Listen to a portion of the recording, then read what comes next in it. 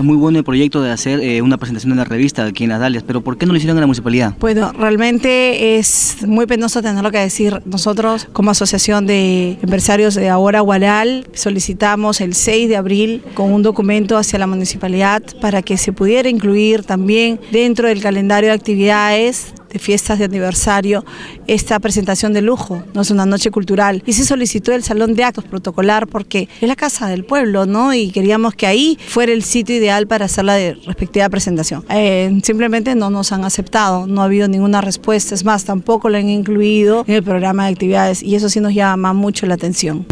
¿Usted cree que de repente podría haberse hecho este evento en la municipalidad provincial?